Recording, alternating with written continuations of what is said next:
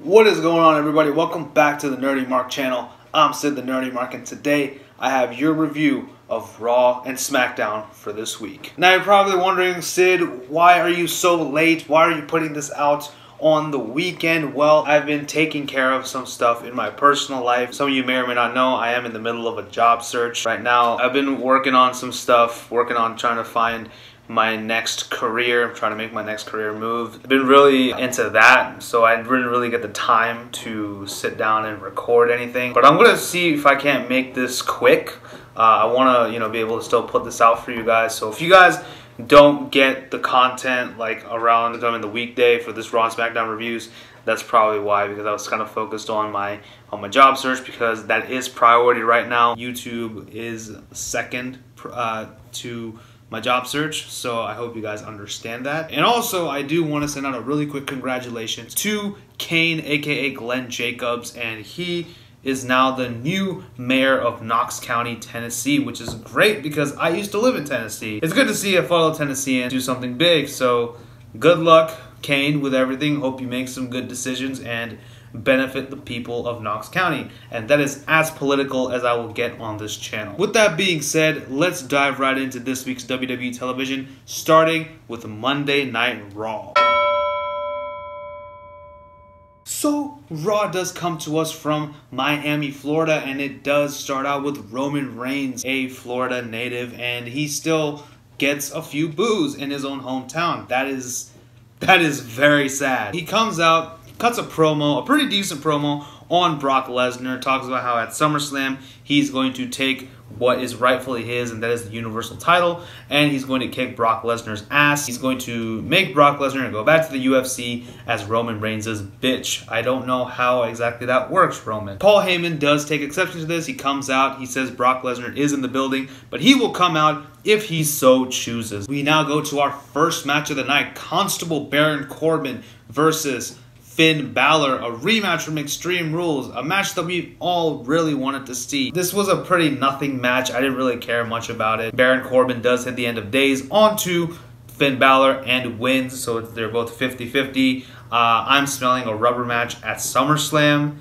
Yay. We now had Alicia Fox versus Natalya in a very confusing match, actually. I don't know. I can't really put my finger on it, but it's just this whole ordeal was just like, what the hell is going on here? We did have Alexa Bliss in uh, Fox's corner, and of course, Natalya's training partner and best friend, Ronda Rousey. This ended when there was something going on in the ring, which kind of what confused me, I guess. And Ronda Rousey distracted the referee. Alexa Bliss uh, went to Natalya and attacked her because Natalya was in her corner. Alicia Fox takes advantage of this and she pins Natalya. This causes Ronda to get angry. She goes for Alicia Fox, but the heels look strong. We finally are getting our debut for Ronda Rousey. She's going to face off against Alexa Bliss next week on Raw. Up next, we did have Elias in the ring, and he is singing a song for the city of Miami, Florida. He runs down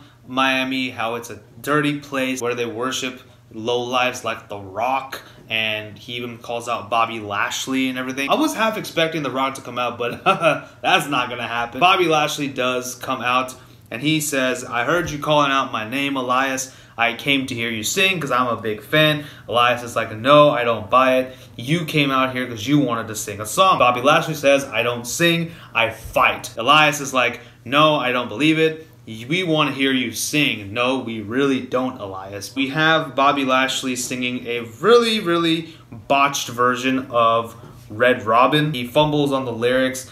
And Elias, understandably so, attacks Bobby Lashley, but Bobby Lashley does get the better of Elias and beats him up. So it looks like we're getting Elias versus Bobby Lashley for SummerSlam. I don't get it, okay? He went from this horrible feud with Sami Zayn, then we transitioned into a really good feud between him and Roman, and now we're having Elias and Bobby singing nursery rhymes? What is going on with Bobby Lashley? Someone enlighten me because I don't know what's going on. Bobby, can just go back to Impact because they actually treated you much better over there. We then had Braun Strowman versus Jinder Mahal, and This was also kind of a confusing match because it was really weird. So Jinder Mahal continues to do his whole meditation gimmick. Braun Strowman continues to say, get these hands. Kevin Owens comes out and steals Braun Strowman's briefcase. Braun Strowman runs out of the ring and goes towards towards the back. And this has Jinder Mahal win in via countout. So I guess Braun still looks strong. So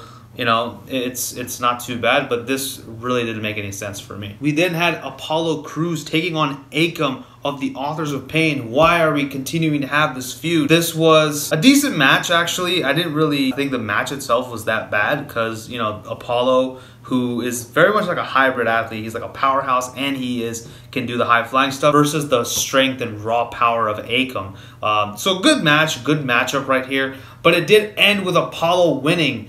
I mean, what are we doing with the AOP? Can we please pair them pair them up with Roman Reigns? Have them contest for the Raw tag titles because they deserve much more than Titus Worldwide. We then had Seth Rollins versus Drew McIntyre in another really good match. I don't really think there's anything special that I want to talk about in this one, but the match did end when Seth Rollins hit the curb stomp onto Drew McIntyre and he was about to win, but Dolph Ziggler came in and attacked, so Seth won by disqualification. And Dolph tried to beat him up, but Seth did look strong in the end where he hit a suicide dive uh, onto Drew and Dolph and he is walking to the back and he of course does get a rematch for the IC title later on and is also jumped uh, by Dolphin Drew. This is going to be interesting. Uh, so we're getting another rematch for the IC title at SummerSlam. So there's that. Up next, we did have the Raw Tag Team Champions, the B Team, coming out and they're having an interview with Charlie Caruso when they're interrupted by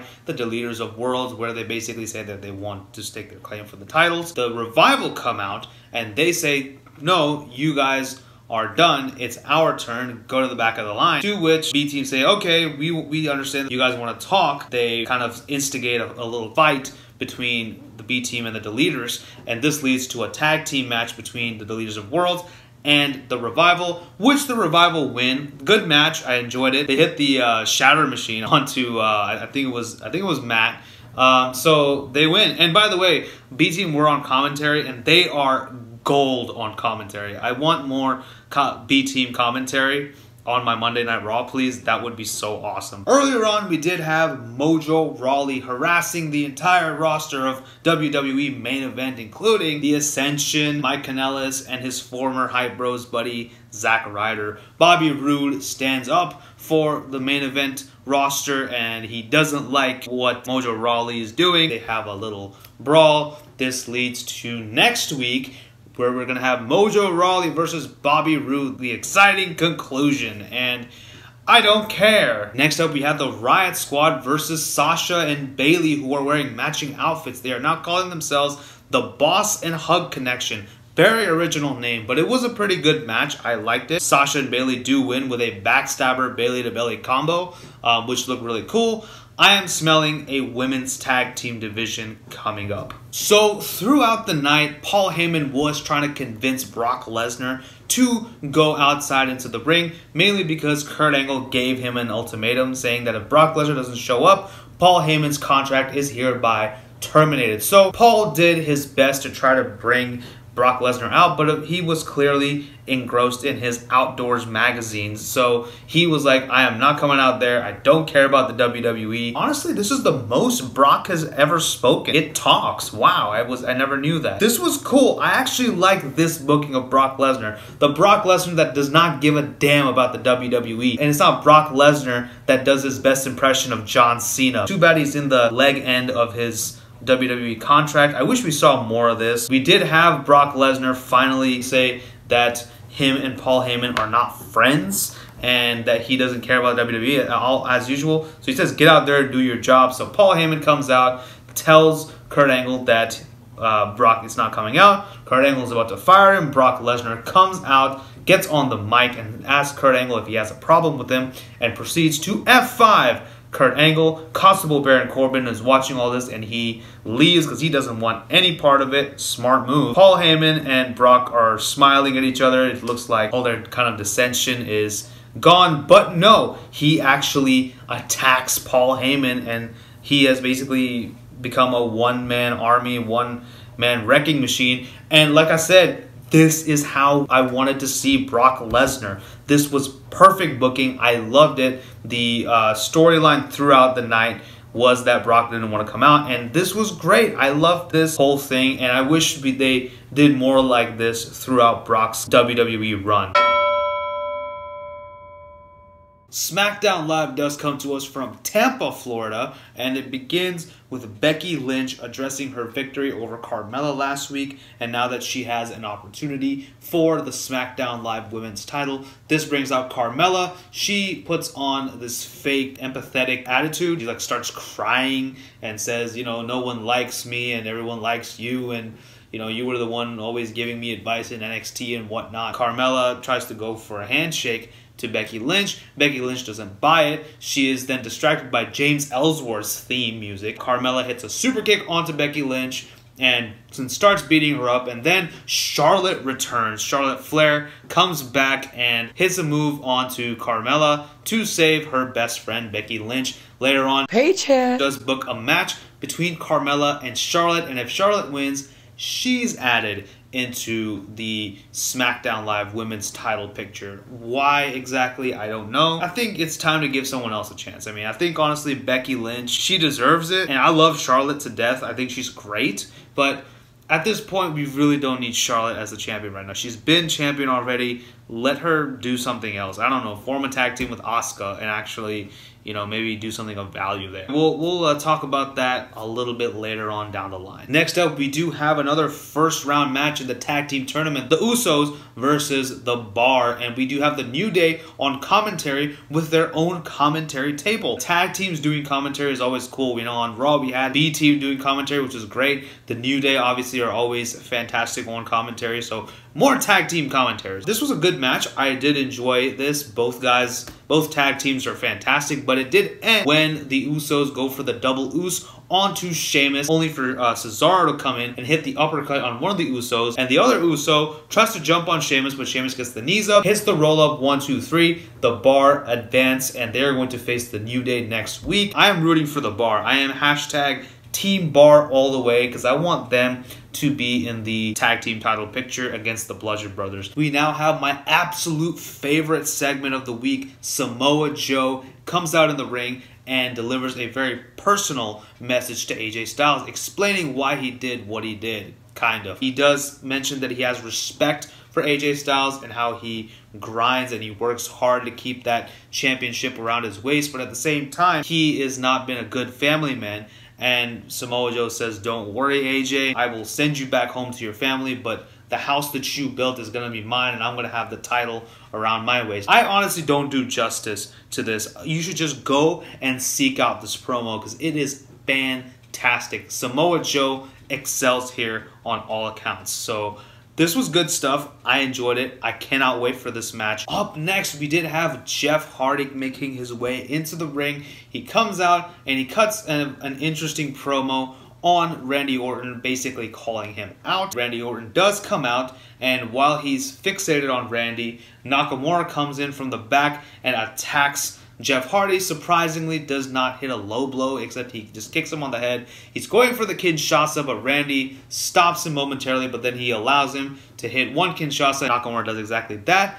Then Randy Orton unleashes a vicious attack on Jeff Hardy, getting him on the table and like ripping all his shirt off. I know what it sounds like, but it's not like that. He then takes off the Hardy Boys logo that he that Jeff Hardy wears. He just rips it off of his neck and he says, "I have stolen your identity now." This was great stuff. I do think we're getting closer and closer to either Brother Nero or Willow. That would be great, but you know who we really need from Jeff Hardy? We need Itchweed. We need Itchweed to come in and mow the hell out of Randy Orton's hair because he needs a damn haircut. We then had Zelina Vega taking on Lana, winning a pretty decent match. I did enjoy this. Andrade Cien Almas on the corner of Vega, Lana going at it alone. The match did end when Lana is about to win, but Aiden English comes in and he tries to help, but it backfires again, so Zelina Vega does get the victory. And backstage, we do have Aiden English trying to apologize to Lana, who at this point, her Russian accent is completely gone, except for when he when she says Rusev. I can't do it as well as her, but Rusev does yell at Aiden English. Aiden gets out of there. Lana is mad at Rusev. She says, you know, I know you're need your space and whatnot, but I really could have used your help out there. So more dissension in Rusev Day. Uh, it's going to be very, very sad when the inevitable happens. Up next, Daniel Bryan makes his way into the ring, wanting to address what happened last week when Miz threw the toy baby at him. So Daniel Bryan does want the Miz to come out and face him man to man because he is sick and tired of the Miz's antics and he wants a con wants competition. Miz, who is on the set of Miz and Mrs., uh, appears on the Titantron and basically wants to run down the entire success of his show, but Daniel Bryan's not having it because he doesn't care about his quote stupid show. He wants a match with Miz at SummerSlam. Miz does blatantly disagree and says that it's not going to happen. And he says that Daniel Bryan is all washed up. He should let his contract expire at WWE and go back to the Indies, which is interesting because Daniel Bryan's contract does expire in September, just in time for All In. Daniel Bryan takes exception to this and calls Miz soft in the rings and in the ring and calls him a coward. Miz retaliates by putting up a bunch of pictures of uh, crying babies with audios of the baby crying and says that Daniel Bryan is a crybaby and that's how the segment ends. This was good stuff, good promo work by both these men. I can't wait for their their eventual match at SummerSlam, though I would keep it until WrestleMania 35. It is now time for our main event, Charlotte versus Carmella, and if Charlotte beats Carmella, she is added into the women's title picture at SummerSlam. And this is a very good match. I did like it. Charlotte obviously looking good. She keeps yelling that she's back throughout the match. We get it, Charlotte. We know you're back. You don't have to keep reminding us. It did end when Carmella was trying to hit the figure four onto Charlotte. Charlotte counters it into a figure four, transitions to a figure eight, and Carmella taps almost instantaneously. And now Charlotte is added into the triple threat. Meanwhile, Becky Lynch was watching all this in the back, and she does look pretty angry. So it looks like we may be getting close to a Becky Lynch heel turn. So overall, I will say that Raw was a little bit better this week. However, it still did not hold a candle to SmackDown Live, which has been impressing me throughout for consecutive weeks on end. There's still some good stuff in Raw. I did like the whole narrative throughout the show with Brock Lesnar and how he doesn't care about the WWE Universe and how he just wants to basically sit in his locker room and read outdoorsman magazines all day, I guess, because, you know, that's, I guess, what he likes to do. I also did enjoy the Revival versus the Deleters of Worlds. That was a good match, especially with the B Team on commentary. That was pure gold. Roman Reigns' promo in the beginning was actually pretty decent. Drew McIntyre versus Seth Rollins. Uh, a really good match. As far as SmackDown is concerned, the match between uh, Carmella and Charlotte, the main event was good. Daniel Bryan and The Miz, great stuff there. Samoa Joe's promo was absolute gold. Randy Orton and Jeff Hardy, this feud continuing to build a lot of intrigue. I'm smelling a triple threat match between Randy, Nakamura, and Brother Nero. I did like Bar versus Usos. So that concludes my review of both Raw and SmackDown for this week. Let me know what you guys thought about both shows in the comment section below. Also, don't forget to like, share, and subscribe. Follow me on social media and tell your friends about the Nerdy Mark. Until next time, this is Sid signing off. You guys take care. Bye bye.